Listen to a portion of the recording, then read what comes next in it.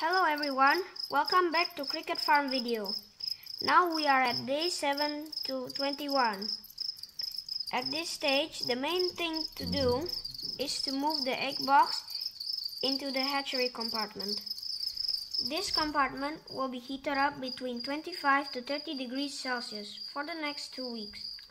In the compartment, we put some cardboard from tissue rolls and if everything goes well, in the next 3 to 4 days, the first batch of eggs will hatch.